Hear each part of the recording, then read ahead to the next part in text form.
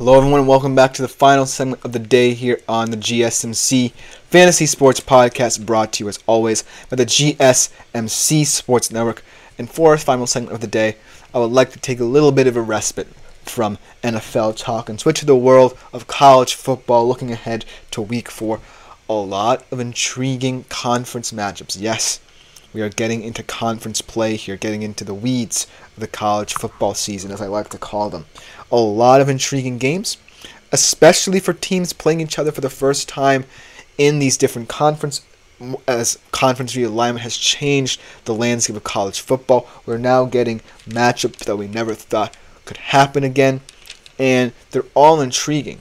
So, without further ado, let's look at some of the best of the best college football games for week four, starting off with a West Coast trip. USC, Michigan. USC, 2.5 point, point favorites.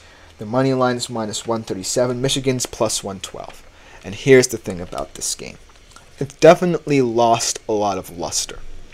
Now, if you look at the Michigan side of things, right?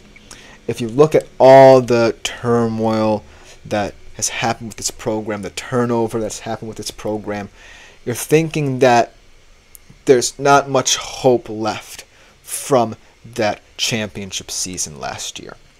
But they still have a lot of talent. It's just that they don't know how to use it, at least on the offensive side of the ball. They still have Donovan Edwards. They still have Kalel Mullings. They still have Colston Loveland, who's an all world tight end right now in college football. And it's just that the offensive production hasn't been there because they haven't had a solid QB to rely upon. Well, they believe they found him because they switched from Davis Warren to who everyone thought would presumptively start the season, Alex Orji. Now, what I like about Alex Orji is that he is one of those players who has kind of been kept a secret to the college football world. He's played a couple snaps in the Jason McCarthy era where he's just running the football. He's played a couple snaps this season where he's running the football as well. But you haven't really seen him take command of this offense fully. And so that's going to be the intriguing storyline for Michigan in this game. If Alex Orji is the answer, what's this game plan going to look like for the Wolverines? Then I transition to the USC Trojans. And they look very, very impressive through two weeks here. They got a very good win against LSU. They got a shutout against Utah State. And they're playing some of the best football in the Lincoln Riley. But it might not even be Lincoln Riley's doing. I really like the hire that he made, letting go of Alex Grinch and all the relationship they had there, their time at Oklahoma together, brings in a UCLA guy in D'Anton Lynn, and this defense looks rejuvenated. They've incorporated many transfers, many holdovers, and this defense is looking potent. But I do want to also focus on the offensive side of the ball because there's been a lot of hype around Miller Moss as potentially a QB that could go within the first five picks of the 2025 NFL Draft. I say slow your roll on that, but what I've been impressed with for Miller Moss has been his ability to have poise and composure in the pocket. I look to his drive against LSU, that two minute drill against LSU, leading USC down the field, comfortable in the pocket, really kept that team on schedule in that situation, ultimately getting that big win to start off the year. And as the home team, they should feel comfortable, right? But the thing that could, you know, cause them some trouble is the fact that Alex Orji has many different traits and you don't necessarily know how he's going to use them in this offense. Sherrone Moore might have done this to kind of send a shockwave through the USC Trojans' minds, but it's all going to depend on Alex Orji himself and his play in this game because you can call the plays for a guy who you believe can be the answer for you at Michigan, but he just has to execute them very well. So that being said, I'm taking Michigan here. I think they're going to cover the spread comfortably. I think this is going to be a two score game. I'm taking USC 27, Michigan 13. I just don't know how Alex Orji is going to look because I don't necessarily have enough information about him to feel comfortable saying he can lead a full start for this team. But USC definitely looks very impressive at home with a revamped defense with Miller Moss looking comfortable in the system. I like USC. But then let's look at a Big 12 conference game because the Big 12 looking like one of the best conferences to follow in all of college football right now. And this game is going to be an interesting one because there's a lot of different storylines here. Well, with Cam Rising's health and Ollie Gordon's slow start to the season, we're going to talk about it a little bit more tomorrow as well. Utah versus Oklahoma State. Utah favored by one and a half. Their money line plus 108. OK State's minus 130. And the story of this game is that these are two of the biggest contenders for the Big 12 title. But they do have some question marks and big ones at that surrounding what can happen to them in the future. Especially in the long term for Utah, because let's start off with them. I like Utah a lot, and I really hope for their sake they're in the debate to go to the Big 12 championship and ultimately the college football playoff. But I can't get past the fact that Cam Rising's health has always been an issue for this team. And this time, I'm not sure they have enough surrounding their backup, who's now Isaac Wilson, to really supplement him for as long as Cam Rising might be out.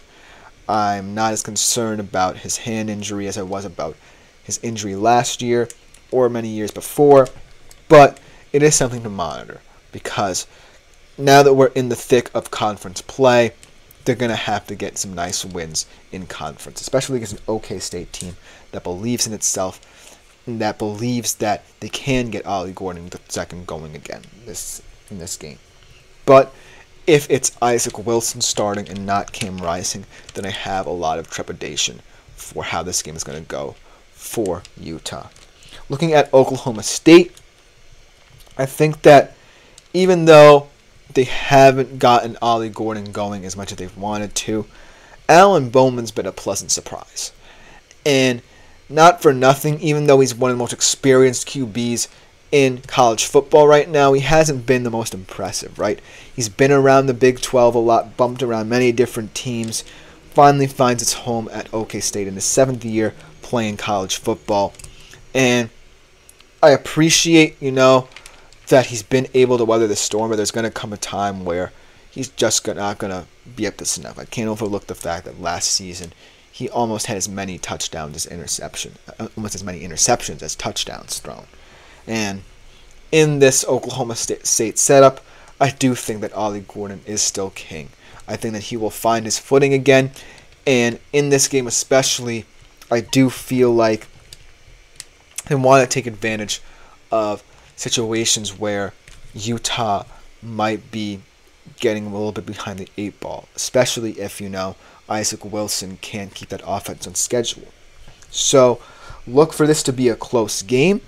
Look for it to be a very important game right down to the end. But I am going to take Utah in this one.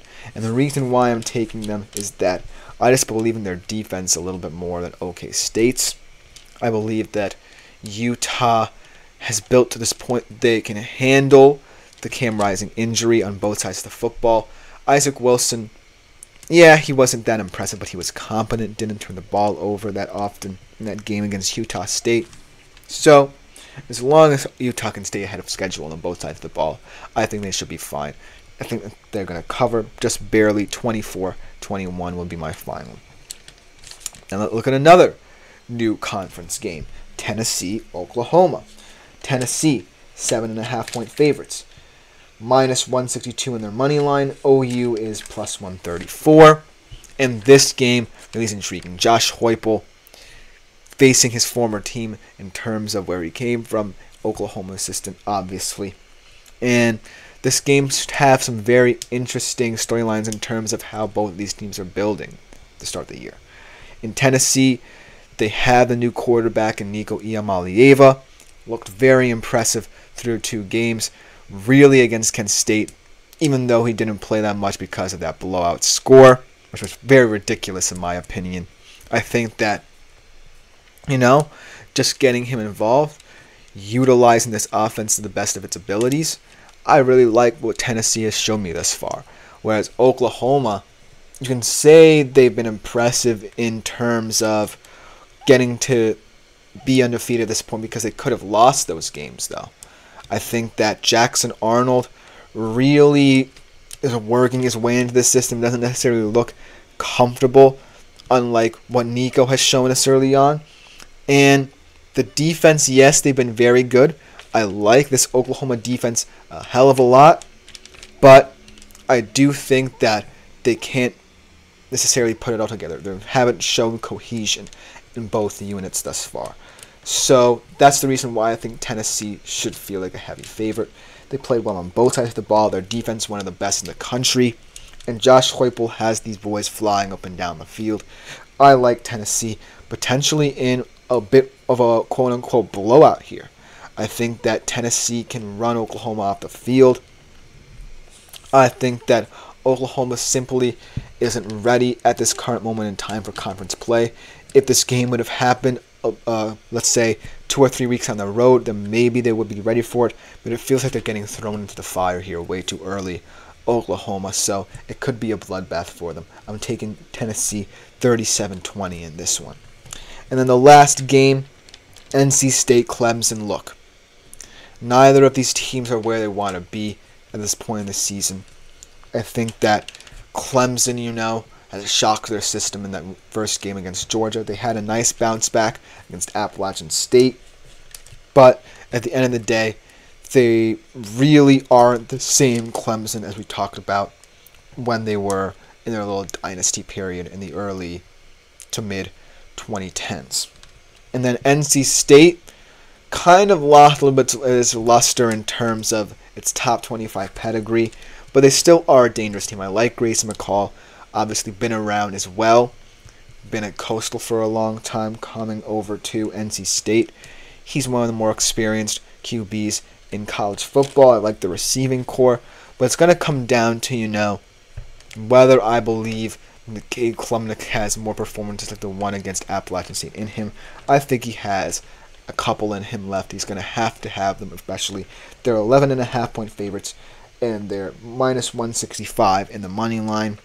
So I'd say that they can potentially win this game and win it big. I'm going to take them, say, 20 to 10 in this game. I don't think it's going to be high scoring. I think it's going to be a very weird ACC game.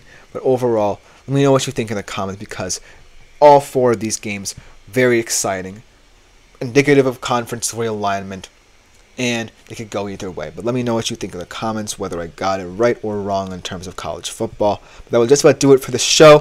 Thank you all for tuning in. Thank you for your comments as well. This has been the GSMC Fantasy Sports Podcast, brought to you as always by the GSMC Sports Network. I've been Christopher Shepard. Thank you for tuning in yet again. Please consider liking, following, and subscribing to the show and the network is greatly appreciated. Keep on using the super chat, super thanks, and super stickers features. Make yourselves available to them as always to grow the show, interact with the show even more. But thank you all for tuning in. We'll be back tomorrow to close out the week on the GSMC Fantasy Sports Podcast, same time as always. I've been Chris Shepard. Thank you all yet again.